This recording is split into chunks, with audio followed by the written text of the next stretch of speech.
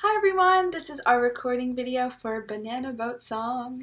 In this video we're going to go over Banana Boat Song twice, once as more of a practice warm-up and a second time for our official performance. Before we play, make sure your recording space is all set up. Make sure you're recording portrait, not landscape, nice and up and down, and with the back camera if you can.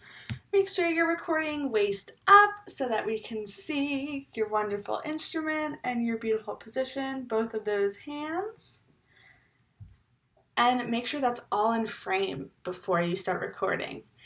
And you can record both of these times we're going to play. That way you have two takes of the song already and you don't have to do as much maneuvering, turning the camera on and off. So let's get into our first warm up. So take a look at Banana Boat Song. Let's remind ourselves of what goes into this piece. So we see it's D major, we see our common time telling us 4 4 for the time signature, four quarter note beats in a measure. We see we start on our third finger on the A string, our D, and check out that slur in measure 4 that we've done a lot of work on and how many times that comes back. We see that measures 5 and through 8 will repeat itself. And then we see that nice DC al fine at the end, da capo al fine, telling us to go back to the beginning. Once we get to the end of the second line, going back to the beginning and playing until the fine. So let's do our warm up. Even in our warm up, make sure you have a good position, your elbows off your body, your wrist is straight, our fingers are curved with already three fingers down on the A string. Our bow hand, our pinky, is nice and curved on top. Our thumb is bent in the frog. And you know you're ready to play when your bow is already on the A string. And it should be on the A string as I count off. Alright? Check one more time before we start. Don't start all the way at the frog, maybe a little bit closer to the middle. And we're ready to go. Remember, this is our warm up, but we want to make sure we pay close attention to everything, even though it's a warm up. One, two, ready, play.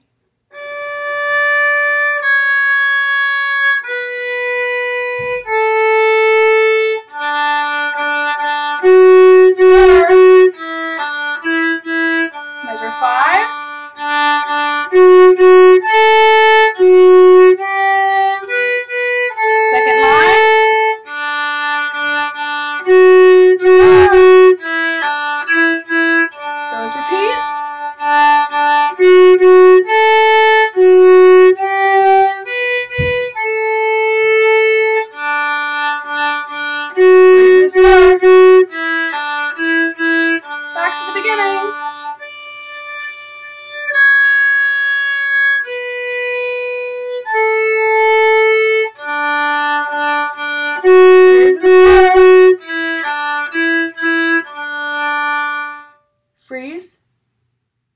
A couple seconds.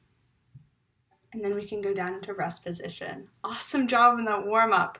If there are a couple places that you see you need to work on and practice, practice those now. But if you're ready to go, let's do our performance.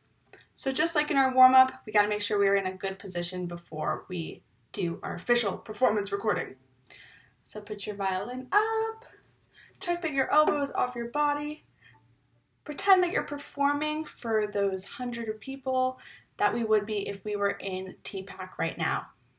So we want to make sure we're standing as proud violin players with our elbows off our body, our wrists straight, no pizza platters today, our curved fingers already three down on the A string, our bow is on the A string with our thumb bent and our pinky curved. Take a second to check that all of those are in a good position. And if they are, let's play. One, two, ready, play.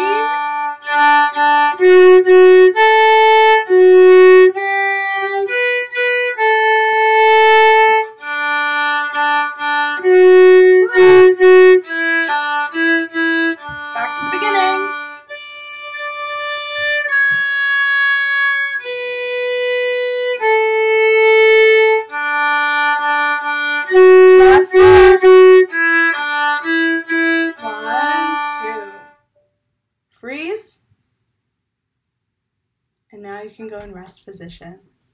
Nice job! Well, I can't wait to hear how you all sound. I'm so excited for our virtual concert. Bye!